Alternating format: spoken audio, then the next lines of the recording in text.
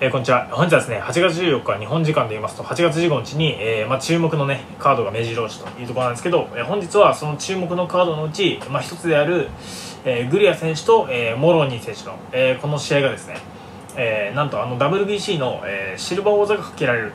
というところで、えー、本日はですね、えー、WBC シルバー王座決定戦の、えー、モロニー選手とグリア選手の、えー、勝敗予想をしていこうと思います。はい。まあまあ、えー、この一戦について皆さんどう予想されますかね。うん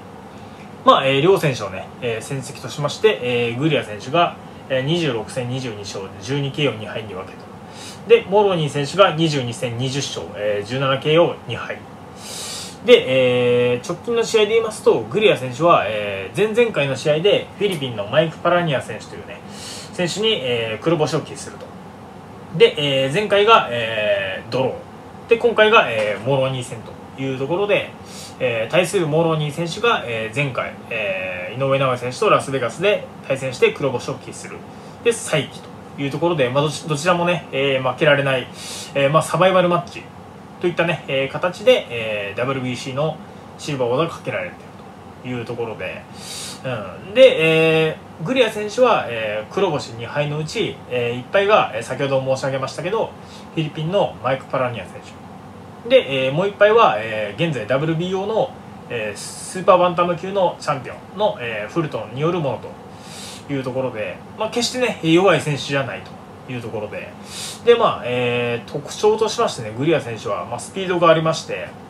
でもパンチもあると。ただ、え、ディフェンス面でねちょっと、えーうん、隙があるかなといったように思いますね、うん、後で、えー、動画の方もね添付いたしますので、えー、そちらでね、えー、確認していただければと思うんですけど。でまあモロニー選手は、えーまあ、皆さんもね、え、ご存知の通り、え、あのような選手というところで、まあ、かなりね、え、モンスターがやってきた相手の中だと、うん、強かったなといった印象を受けました。でまあ、えー、勝敗予想っていうところなんですけど、えーまあ、本当にねどっちが勝ってもおかしくない試合にはなるかなと思うんですけど、えーまあ、どちらかといえば、えー、自分は、まあ、モロニー選手が、えー、判定勝ちするかなといった印象を受けましたね。試合両選手が試合を見て、うん、でまあ、えー、この間もですね視聴者様とこういう話になったんですけど、えー、まあモローニー選手が KO で勝つんじゃないかなっていうねこともあったんですけどまあ自分もね、えー、KO もあり得るとは思うんですけど、まあ、モロニー選手が、まあ、うまいボクシングで、うん、最後まで、うん、グリア選手を、えー、翻弄するかなっていうふうに見ましたね。うん。まあ、ただ、えー、グリア選手もね、スピードがあってかなりやりにくい選手だと思うんで、まあ、侮れないと思うんですけど、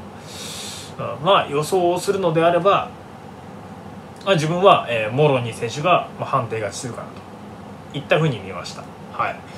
まあ、皆さんもね、えー、この一戦、えー、どういった予想っていうのがねもしありましたら、えー、コメント欄の方よろしくお願いします、はい、